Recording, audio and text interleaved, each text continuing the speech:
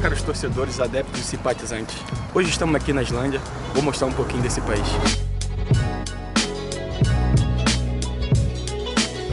Eles são cerca de 335 mil.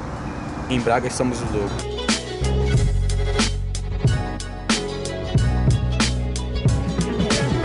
No mês de agosto, a Islândia tem 20 horas de luz solar por dia. Um conselho, feche as persianas. A Islândia é dos países com mais vulcão do mundo, tem cerca de 200.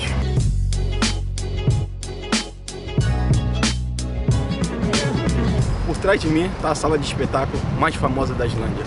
O nome dela se chama Arpa.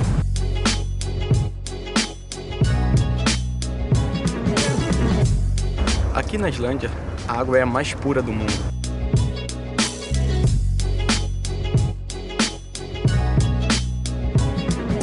Taxa de alfabetização na Islândia é de 99%.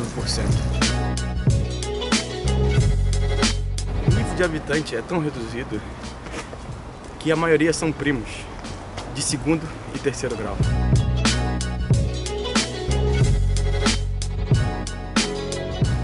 Conto com o vosso apoio logo à noite. Força positiva para os nossos guerreiros.